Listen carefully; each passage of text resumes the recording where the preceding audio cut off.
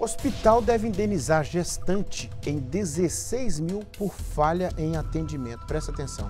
A decisão é da Câmara Civil do Tribunal de Justiça de Minas Gerais, da comarca de Ipatinga.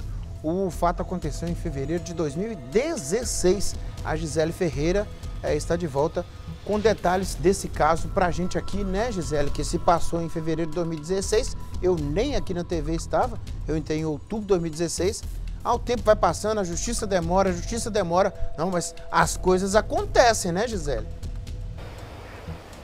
Pois é, Nico, até o valor da indenização aumentou de, de 10 mil para 16 mil reais. Conforme a, o Tribunal da Justiça, essa paciente ela estava em fase final da gestação quando procurou um hospital aqui em Ipatinga e o hospital ela foi atendida por uma enfermeira que não a encaminhou para um médico para ser melhor avaliada. A própria enfermeira disse que ela poderia voltar para casa e depois procurar uma unidade de, de saúde que era mais próximo da casa dela. Esta mulher voltou para casa, mas momentos depois ela entrou em trabalho de parto e ganhou o neném dela dentro de casa sem nenhum acompanhamento médico, né, ou de um, um, um atendimento é, que precisa nessas horas, né, Nico?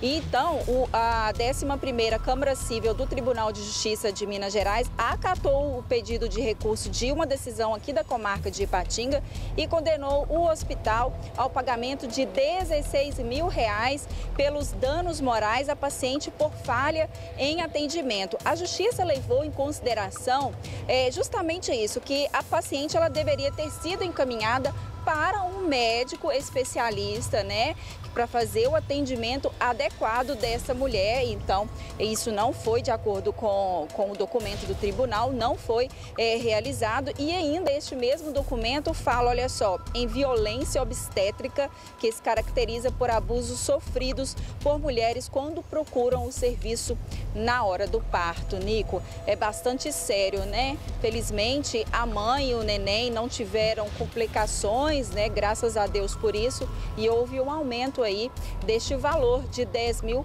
para 16 mil reais, Nico.